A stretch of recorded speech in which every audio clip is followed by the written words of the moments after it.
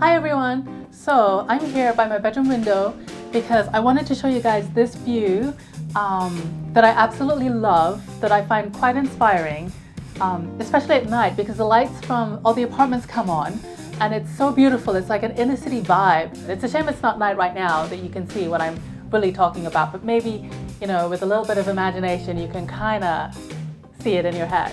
But for now, I'm gonna go over to the living room so you guys can follow me where I'm gonna carry on over there. Let's go.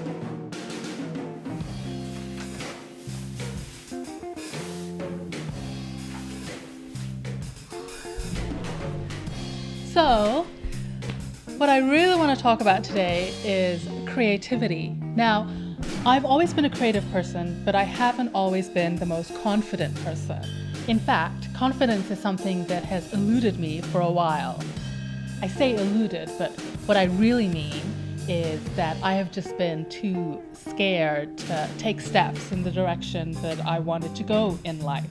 I've always wanted to be a filmmaker, but one of the things I've been really good at is just talking about it and not actually doing it. Just talk, talk, talk, talk, talk, talk. But I got to a point where I kind of thought, you know what, I can just sit on my butt all day and just do nothing, or I can actually start to do something because no one's just gonna hand this to me. I need to actually take steps, learn what I need to learn, learn the craft, get out there and start making films, no matter how scary it was.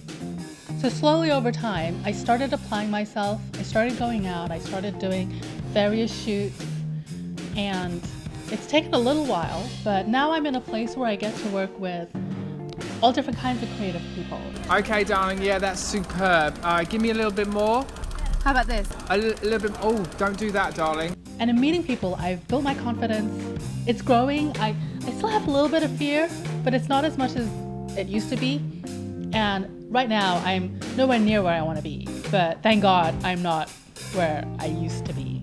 Some of the people I work with have all different kinds of talent, and I learned so many ideas from them. I think for me, it's really great being amongst other creative people, and then I can I can learn different aspects of um, my field.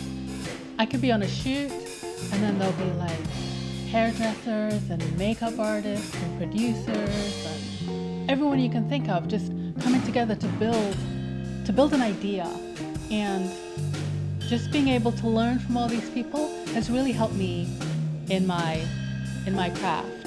And I get so energized when I'm around other creative people.